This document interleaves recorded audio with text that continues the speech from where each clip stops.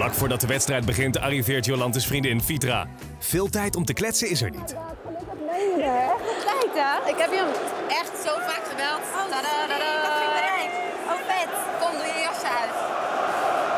Heb je een goede vlucht gehad? Even bellen voor de warming-up zit er niet in. Maar Wesley en Jolante hebben in elke heksenketel zo hun eigen contactmomentjes. Eigenlijk, toen we verloofd waren, vanaf het moment dat we verloofd waren, heeft hij in elke wedstrijd dat hij scoorde, kuste hij dat was voor mij toen ook een verrassing. Dat ik dacht, oh, wat schattig, weet je. En dat eh, heeft hij met WK 2010 ook gedaan. En daarna eigenlijk altijd. Dus eh, hopelijk dat hij vanavond weer eh, kan kussen. Ik denk echt dat ik naar de wedstrijd kijk, gewoon als alle supporters.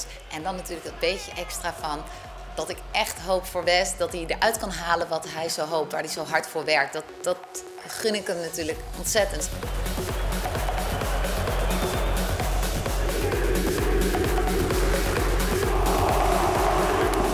Jolante is vandaag omringd door 52.000 bloedfanatieke Galatasaray-supporters... die allemaal vurig hopen dat hun snijder scoort.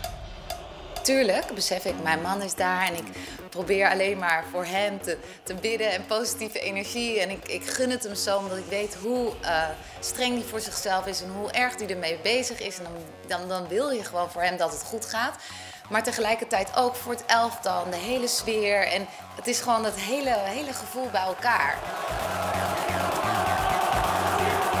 Het gebedje van Jolante helpt. Want al in de negende minuut weet Wesley een doelpunt te maken.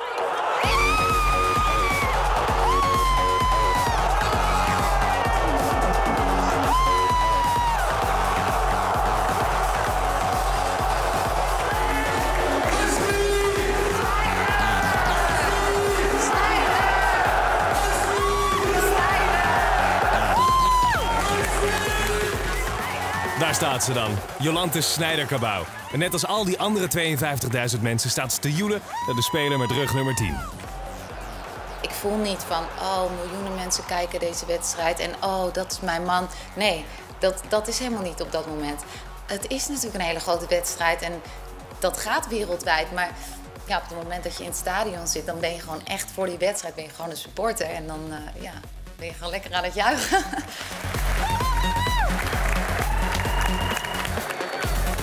Nog 81 minuten lang is het bloedstollend spannend. Maar uiteindelijk houdt Galatasaray de voorsprong vast en is Wesley de koning van de wedstrijd van het jaar.